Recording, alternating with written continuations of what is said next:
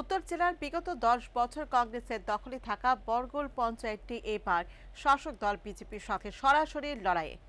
এবারে পঞ্চায়েত নির্বাচনে অস্তিত্বের লড়াইয়ে কংগ্রেস টিকবে নাকি শাসক বিজেপির দখলে যাবে এই পঞ্চায়েতটি? সেটাই এখন লাখ টাকা প্রশ্ন। বিগত দশ বছর যাবৎ উত্তর জেলার বড়গোল পঞ্চায়েত পরিচালনা করে আসছে কংগ্রেস দল। দু হাজার উনিশের আসন্ন ত্রিস্তর পঞ্চায়েত নির্বাচনের ফলাফলে এ দশ বছরে কংগ্রেসের দখলে থাকা বড়গোল পঞ্চায়েতটি কার দখলে, সেটা এখন লাখ টাকার প্রশ্ন। জানা যায়, তৎকালীন সমাজ কল্যাণ মন্ত্রী বিজিতা নাথের নিজ গ্রাম এই বড়গোল পঞ্চায়েতটি শত চেষ্টা করেও দখল করতে পারেনি সে সময়ের শাসক দল, সিপিআই। খোদ মন্ত্রী বিজিতা নাথের নিজ ওয়ার্ডেও তৎকালীন শাসক দল সিপিএম কে পরাজয়ের মুখ দেখতে হয়েছিল। তাই বিগত দশ বছর কংগ্রেসের দখলে থাকা এই বড়গোল পঞ্চায়েতটি দখলের লড়াইয়ে এবারের নির্বাচনে সিপিআইএম এর তেমন একটা অস্তিত্ব নেই। ফলে এবারের নির্বাচনে কংগ্রেস সরাসরি শাসক দল বিজেপির সাথে লড়াইয়ের ময়দানে। তবে দুর্নীতির অভিযোগ থাকায় কংগ্রেস দল এবার একটু ব্যাকফুটে।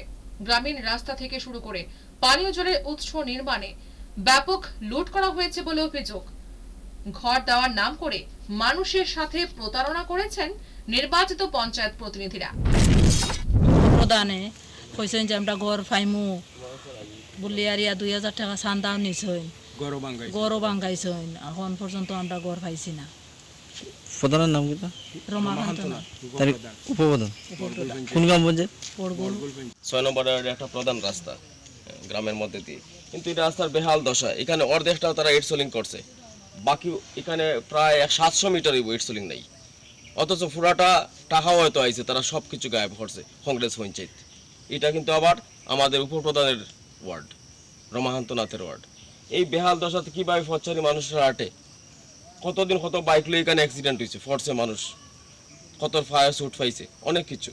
এই- ধরনের দুর্নীতি আমাদের এই বরগুল ফলে এবারের পঞ্চায়েত নির্বাচনে এই বড়গোল দখলে মরিয়া, কংগ্রেস, বিজেপি। এবারে কংগ্রেসের জন্য এই লড়াই অস্তিত্বের লড়াই।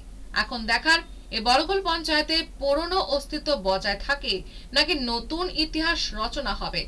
সে অপেক্ষায় গ্রামের জনগণ। Bureau report হাল্লাবোর